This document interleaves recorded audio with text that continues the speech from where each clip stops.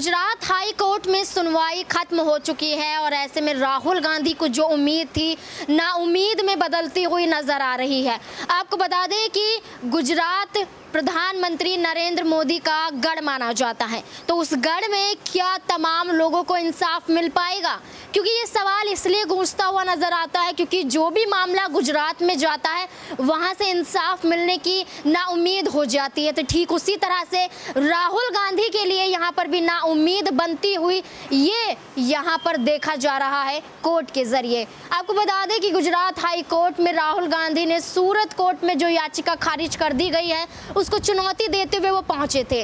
अब ऐसे में आपको बता दें कि अगर हाई कोर्ट यहाँ पर राहुल गांधी के हक में फैसला नहीं सुनाता है, राहुल गांधी को लेकर दो साल की सजा बरकरार रहती है तो ऐसे में वो दिन दूर नहीं है कि राहुल गांधी की गिरफ्तारी भी हो जाएगी। राहुल गांधी की गिरफ्तारी और कोर्ट का एक तरफ़ फैसला बहुत बड़ा और चौंकाने वाला हो सकता है। नमस्कार, मैं नाजमिन खान और आप देख रहे हैं S P news. Rahul Gandhi की बात की जाए तो यहाँ पर मोदी सरनेम के दौरान जब उन्होंने कर्नाटक रैली में ये बयान दिया था कि तमाम मोदी वाले सरनेम वाले चोर होते हैं तो उन पर उन्होंने जिस तरीके से उन पर सिकंजा कसा गया यहाँ पर भारतीय जनता पार्टी मोदी सरकार की साजिश खुलती हुई नज़र आती है। सूरत कोर्ट में राहुल गांधी ने जो दो साल की सजा सुनाई गई थी मोदी सरनेम मामले में मानहानि केस में उसे चुनौती देते हुए याचिका दाखिल की, लेकिन सूरत कोर्ट में याचिका खारिज कर दी जाती है।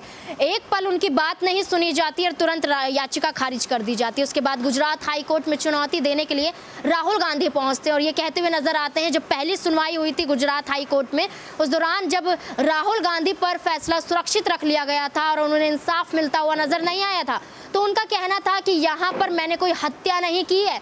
जिस मामले में ये सुनवाई इतनी लंबी चलती हुई नज़र आ रही है, या मुझे यहाँ पर गिरफ़्तार करने की और मेरी संसद सदस्यता वापस नहीं की जा रही है। तमाम तरीके से देखेंगे, भारतीय जनता पार्टी में बाहुबली और तमाम मंत्री मौजूद है जो भड़काऊ भाषण और हत्या के आरोप में शामिल हैं। लेकिन उनके खिलाफ एक्शन लेता हुआ कोई नज़र नहीं आता है। तो ऐसे में क्या राहुल गांधी गिरफ़्तार हो पाएँगे? ये सबसे बड़ा सवाल है, क्योंकि हाई कोर्ट से जो उम्मीद लगा बैठे हैं, क्या वहाँ से उन्हें इंसाफ मिलेगा? क्योंकि हाई कोर्ट की बात की जाए तो गुजरात हाई कोर्ट है। वहाँ पर जो भी कोर्ट है, न्याय से उम्मीद तो लोग लगाते ही हैं, लेकिन जब गुजरात की बात आ जाती है तो वहाँ पर फैसला लेना काफ़ी सवालों में घिर जाता है। तो ऐसे राहुल गांधी जो उम्मीद लगा कर बैठे हैं, अगर वो उम्मीद उन पर खरी नहीं उतरती है, राहुल गांधी को नहीं मिलता है तो यहाँ पर क्या राहुल गांधी की गिरफ्तारी हो जाएगी? ये सबसे बड़ा सवाल है।